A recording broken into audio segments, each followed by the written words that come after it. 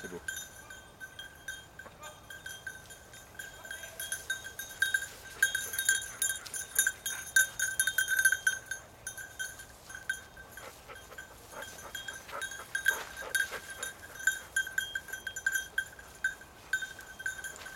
On va la faire travailler dans le